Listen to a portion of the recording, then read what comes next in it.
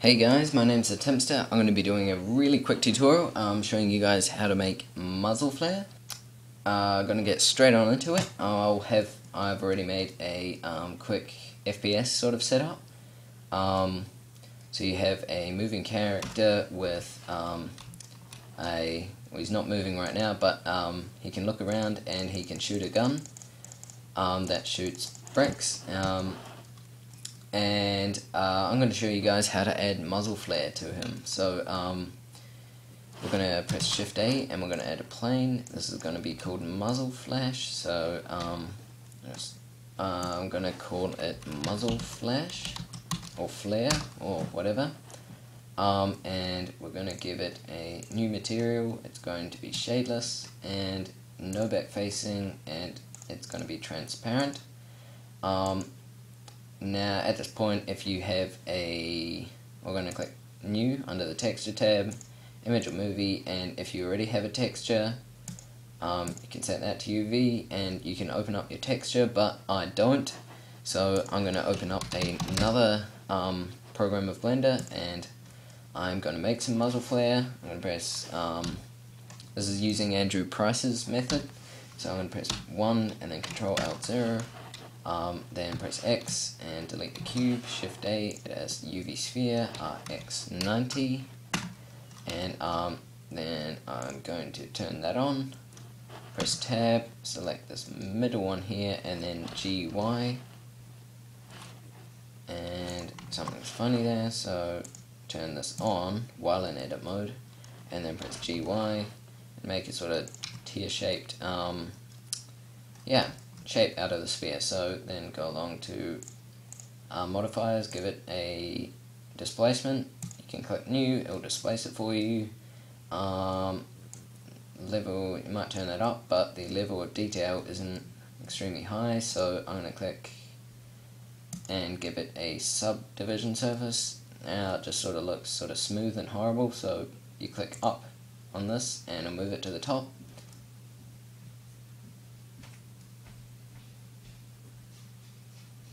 and that will sort of give it um, a lot more detail. You can click 2 for even more, but um, that might be a little bit too much, might lag out your computer. I'm going to leave it at 1. Um, click smooth and press 0, and then we can press Shift F and scroll inwards. And somehow that's fine. You can press RY, maybe rotate it a bit then give it a new material, a volume, turn that down just a little bit, um, you can turn the density up if you want, turn the emission to something like 3, and um, change the color to, I think something like this was fine, some sort of orangey yellow colors, um, and press F12, and I just managed to hit the jackpot and get it all perfect, you probably won't, um, I'm surprised I did, um, but just yeah, muck around until you're happy with those colors. Still not done though, we need to change that to 0.07 and open up a new window here, change it to node editor, click use nodes and drag that over there, press shift A and add blur, fast Gaussian, oh, and change it to 3 and 3, that'll get rid of all the dots, and press F12 again, and you have a nicer looking muzzle flash. Um, so I'm happy with that. I, yep, I could also, I think I might try it out, give it a bit more sort of displacement. Yeah, but I think that should be fine. Um, go along to render settings, set that to 100%, RGBA, full compression, um, under shading, click transparent, and end frame 1. And then I think we should be good to go. Um, oh yeah, select the output destination, so I'm going to do it in tutorials, call it muzzle, well, flare, um, or flash, or whatever you want to call it, save it in your games folder and then click render animation after this is on 1 and it'll render that out for us and it won't look too great, but that's because it's behind alpha. Um, then we can minimize that, go back into our um, original game, and we can open up the muzzle flare. So I've already conveniently conveniently got this open, so I can just click flare and open image, and click U alpha down here, and then tab U unwrap, open that up, um, select UV image editor, muzzle flare, and then SX, and sort of SY as well, give it a good looking muzzle flare texture. Um, I might turn the alpha up to 2 just to give make it a bit brighter. Um, but I like the look of that. If you wanted to, I think 1.1 on the color might. I know you don't want to turn it too high because that just looks ridiculous, but um, I'm just going to leave it at 1. I think that's good. Um, then we're going to go and move it along over here. So you got shadeless and no back facing and that should work fine. So you're in um, GLSL mode and textured if none of this is popping up for you. Um, so make sure you're in that.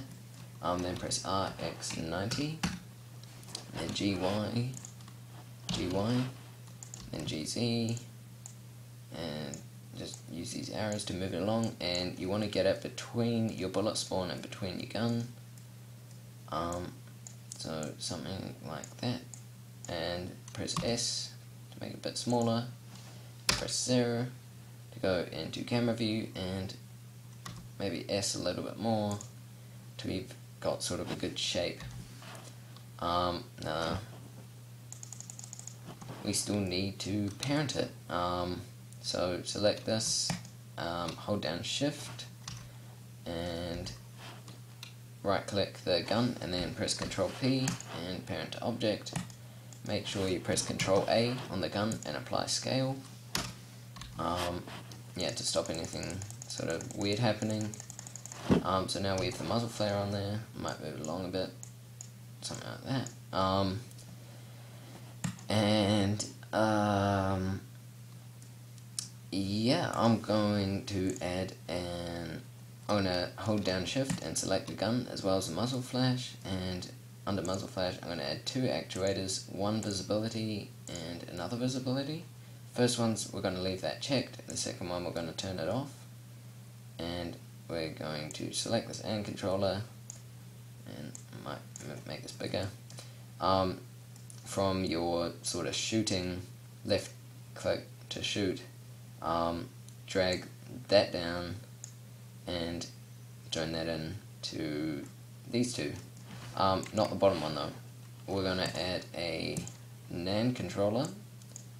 So you have mouse left button and then it's visible but when it's not being pressed, so a NAND controller, then it's going to be invisible and we I think we'll try tap see how that works. P. And we have a. Well we have muzzle flare popping up which is cool. Um, but if you say wanted to sort of have something that isn't semi-automatic and wanted to have a fully automatic gun um, you could we'll go back into the logic editor and say you wanted to set this to true. Um, and turn off tap because this is now a fully automatic. And you wanted it to do that just um,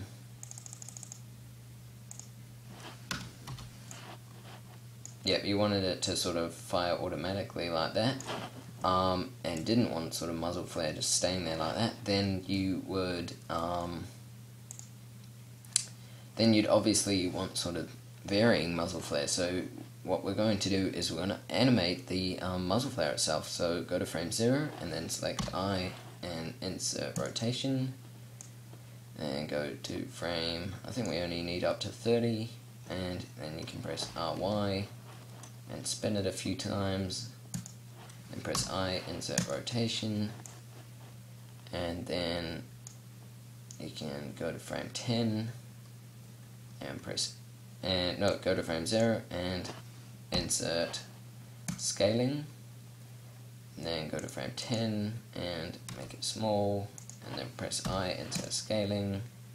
Frame 20 make it maybe bigger. Press I insert scaling then frame 30 make it I don't know back to normal I insert scaling.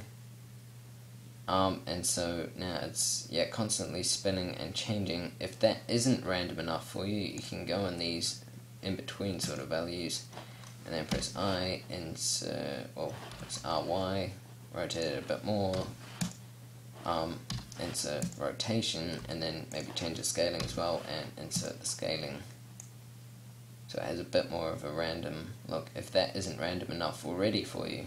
Um, on top of that, if you really wanted to, you could um, select object color down here and you could go in here and get into um, animating the alpha so it sort of fades in and out.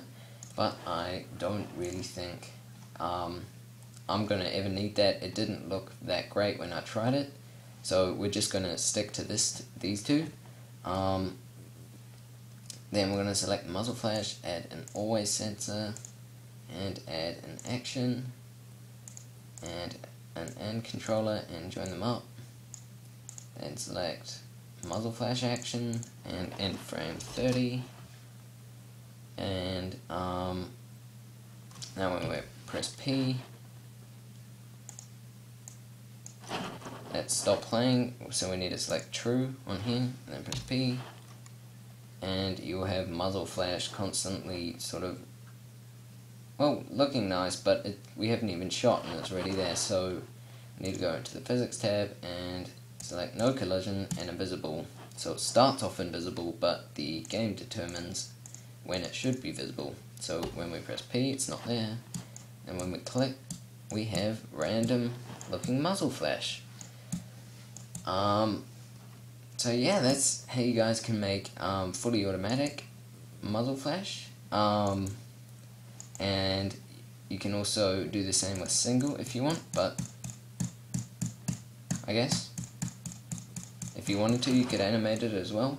But um, yeah, I just had a quick request to um, what how I would do muzzle flare, so uh, that's how I would do it. Um, um, possibly if you really wanted to, you could do the same for a single um, shot weapon, but um, yeah, you'd use this technique for um, a fully automatic gun. So um, that's the end of this tutorial guys. I hope you guys enjoyed it, learned something from it. Feel free to like and share with anyone you think might find this helpful to use in their games. Um, if you think it looks great, then feel free to leave a like.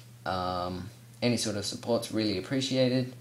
If you um, found something wrong with this video and think you might need to leave a dislike, then please make sure you tell me why, because, um, yeah, I'd like to know what I'm doing wrong and if I can fix it. But um, either way, that's the end of the tutorial. Hope you guys learned something, and I'll see you guys next time.